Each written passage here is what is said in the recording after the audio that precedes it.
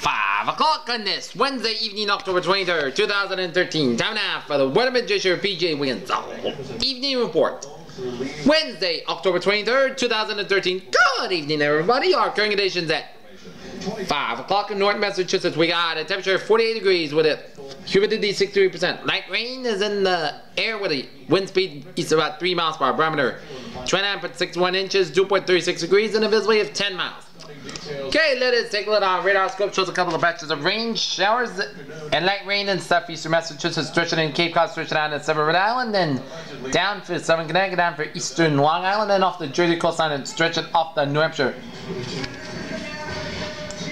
14-year-old daniel chisholm Maine coastline and a couple of patches of rain showers off Nova Scotia and stretching into the Prince Edward Island of Canada here.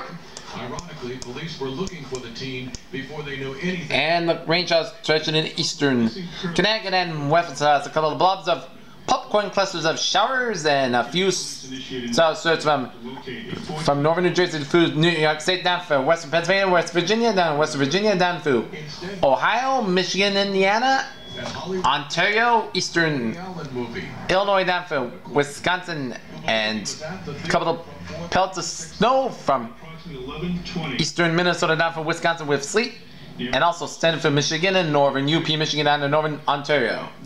Lot of rain showers in southern Iowa down for northern and eastern Missouri down to western Illinois, yeah?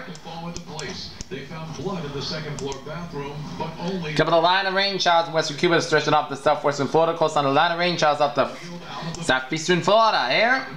Line of rain showers and a sleet and snow pelts in eastern North call a break. Dakota down western, Minnesota down for responded. Manitoba down at eastern Saskatchewan with rain showers and snow stretching in Ontario. If anything,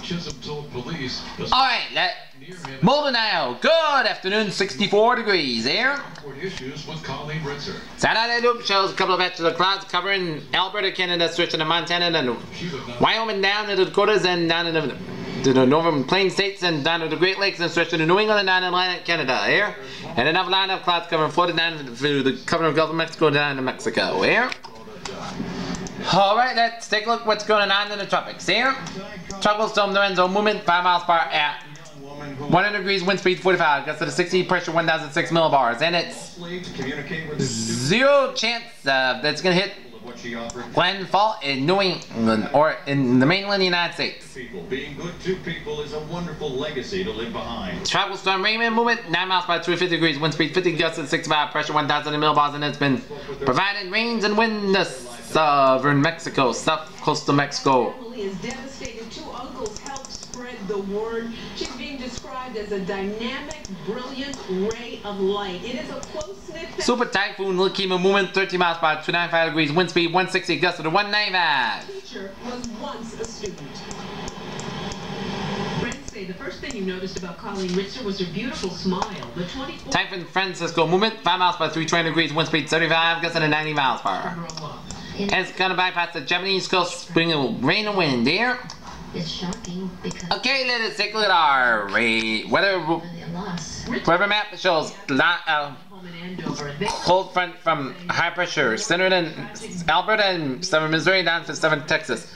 Two patches of low pressure from the Florida coast of the stationary front and stretching off the coast and then a station front from Florida cold front from Virginia, North Carolina, Carolina stretching for the Carolinas, down for Georgia, Alabama, Mississippi, Louisiana, down for Texas and Oklahoma. A cold, college application a warm front dedicated to Crew Kansas and a cold front from Nebraska, stretching Colorado and Wyoming and Montana here.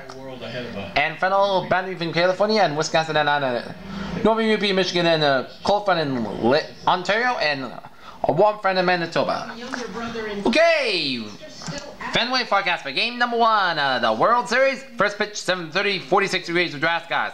7 inning pitch, 45 degrees overcast skies, and 10 p.m. and 11 p.m. final pitch, 45 degrees with mostly cloud skies. Okay, 7 to 8 forecast goes like this. For late afternoon, a slight chance of rain, cloud skies near 53 degrees, calm wind, chance of precipitation 20%. Tonight, slight chance of rain before 7 p.m., then a chance of spring left for ending, cloudy skies at a lower end 40, 34 degrees, and calm wind becoming west around 5 miles per after midnight. Thursday, sunny skies and gradually becoming sunny skies and high near 57 degrees. Light west wind around 11 to 60 miles per hour, increasing in the morning.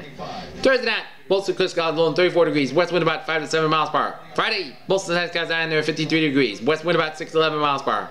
Friday night, mostly clear skies, low 31 degrees. Saturday, mostly sunny skies high near 55 degrees.